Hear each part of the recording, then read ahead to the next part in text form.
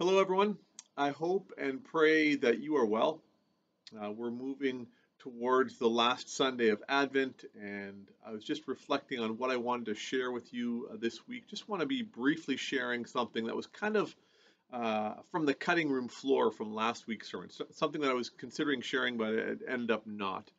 And uh, this past week, we looked at part of, of Matthew chapter 1, the story of of Joseph in particular, but obviously the story of God uh, and uh, the angel. You know, do not be afraid. Um, I, God has a plan for you. Uh, but in that story, uh, Joseph is invited to name uh, Mary's child, uh, to, to name Jesus, Emmanuel. Um, and that word, Emmanuel, many of us know it means uh, God with us. God is with us, and, and so that very name uh, has taken uh, uh significance in our lives. Uh, so that's right at the outset of Matthew's Gospel, Matthew 1. Uh, but I wonder if you remember how Matthew's Gospel ends. when you get to the end of Ma Matthew's Gospel, there's there's the Great Commission. That's kind of the you know the pinnacle of the of, of the the end of the Gospel.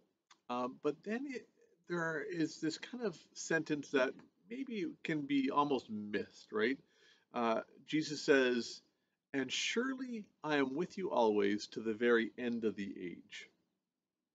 I'm with you always to the very end of the age. So, right at the beginning of Matthew's gospel, we've got Emmanuel, God is with us. Right at the end of Matthew's gospel, we have Jesus reassuring us that I am with you always to the very end of the age. And then the rest of Matthew's gospel includes all sorts of uh, aspects of Jesus' life and how God with us makes a difference all across the board in every facet and aspect of our humanity. And then how Jesus' life and his death and his resurrection are how God comes near to us. And one of the things we're invited to reflect on during this Advent as we approach Christmas and as we consider Emmanuel, God being with us, as we consider what it means for God to incarnate, you know, make himself flesh and, you know, live among us and move into the neighborhood. Um, one of the things that we're invited to think about is how the model for Jesus is one that we're invited to follow. And so the way that Jesus lives and moves and has his being in the world is a pattern for our discipleship. Um, and we see God incarnating, moving to the neighborhood, living in a holy fashion uh, where he finds himself.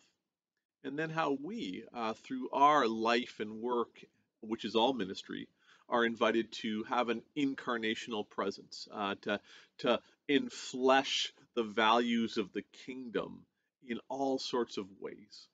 Um, and so I just wanted to kind of have that as a thought, an invitation, a challenge, and encouragement that the God who comes to us um, in Jesus Christ as Emmanuel, the one who is with us, also promises at the end of Matthew's gospel, and surely I will be with you always to the very end of the age. And throughout Matthew's gospel and throughout the gospels assures us that that the very present to us God, namely Jesus Christ, uh, makes a difference in everything that happens and then invites us to consider uh, how we can live our lives in such a way uh, so as to mirror this incarnation, to mirror this uh, Emmanuel life, this God is with us life. And so I, I call you, I invite you, I encourage you uh, by this gospel assurance, this gospel claim, and the words of Jesus. The peace of Christ be with you all.